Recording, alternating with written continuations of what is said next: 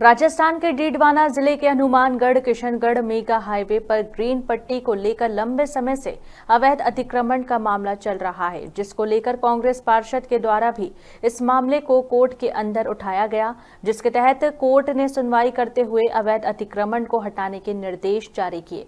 वहीं कोर्ट द्वारा निर्देश मिलने के बाद अब नगर परिषद प्रशासन हरकत में आया है, जहाँ नगर परिषद प्रशासन ने कार्रवाई करते हुए अवैध अतिक्रमण पर लाल रंग की स्याही से निशान लगाकर अतिक्रमणकारियों को उनको नोटिस जारी किए गए।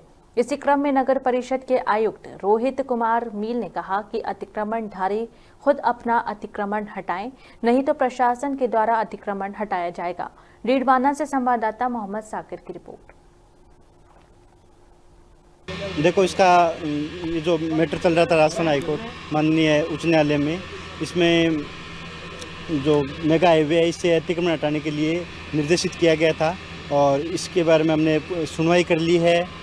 सुनवाई के बाद में ये जो फाइनल कार्रवाई चल रही है, फाइनल कार्रवाई में हम जो जगह हैं, जहाँ से अतिक्रमण हटेगा, वहाँ पर लाल रंग से क्रॉस का निशान लगा रहे हैं। उसके पश्चात जो आगामी कार्रवाई है, वो प्रस्तावित है।